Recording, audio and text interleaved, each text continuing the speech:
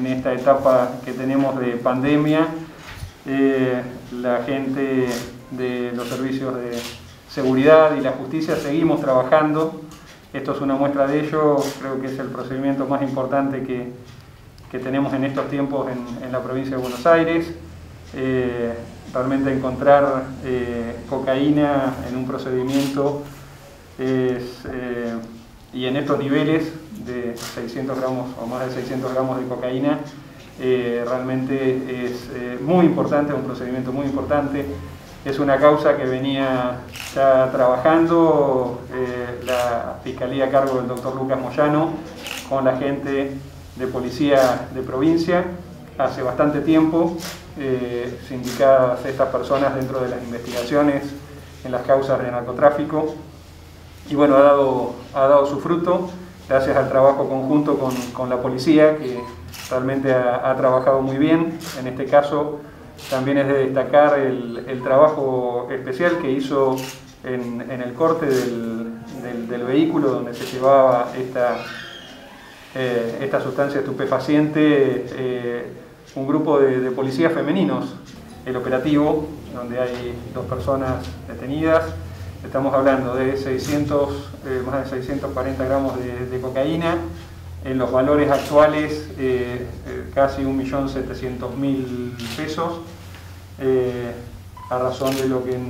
nos dicen que hoy por hoy un gramo de cocaína se está vendiendo alrededor de 2.600 pesos al gramo.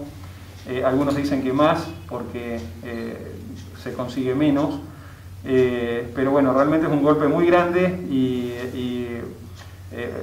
una alegría enorme de parte de nosotros, del Poder Judicial, del Ministerio Público Fiscal,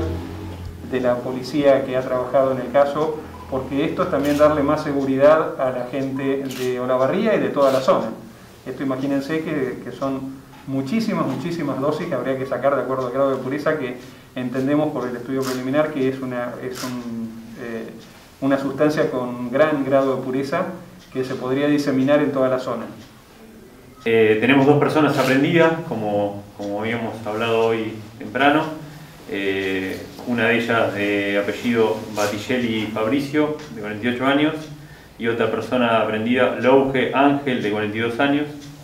Estas personas, este, como ustedes están viendo, se terminó hace escasos minutos de, trabajar, de, de, la documentación que tiene que aportar la comisaría con las cadenas de custodia, por eso ustedes lo ven en sobrado pero sin perjuicio de ello hay fotos que se han obtenido para el expediente que después le vamos a acercar para que se observe lo que es la magnitud de la sustancia eh, eh, que se logró el secuestro. A la pregunta particular, la audiencia dada la hora en que finalizamos eh, el acta de procedimiento se va a hacer para mañana a la mañana, alrededor de las 8.30, 9 horas de la mañana, y en base a eso con la declaración o no de los acusados, que tienen su derecho a no declarar, eh, se continuará solicitando las medidas procesales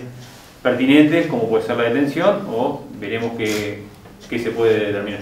Cualquiera que tenga algún dato que nos pueda aportar algún tipo de información, hay un canal que es un email que es denunciasazul.mpba.gov.ar en la cual nos pueden hacer llegar directamente la información a la Fiscalía.